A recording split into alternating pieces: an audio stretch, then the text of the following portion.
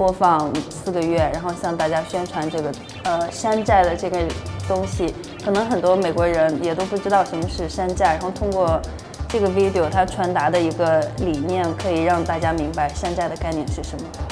The Shanzai Biennial has put the city on the map. There was nothing before. 有自己独创的呃 style，然后他们就是融合 It's become the it destination for all of Asia, truly.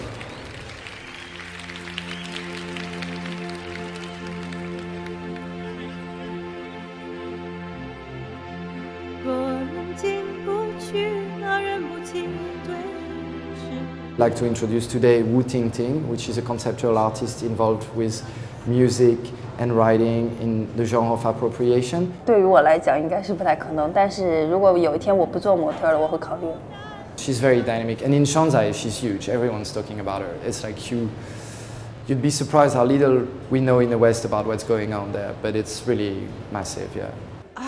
Uh, the cultural scene in Shanghai is really exciting because um, it's there's such a phenomenon. There's a lot of communication and uh, information in a lot of the stuff that's being produced there that is really easy to, you know, understand. It's not the idea of one person or one genius. It's this place where everything that's happening ends up get, getting distilled into a pair of sneakers. 脑海抽丝，抽破血深情缘由。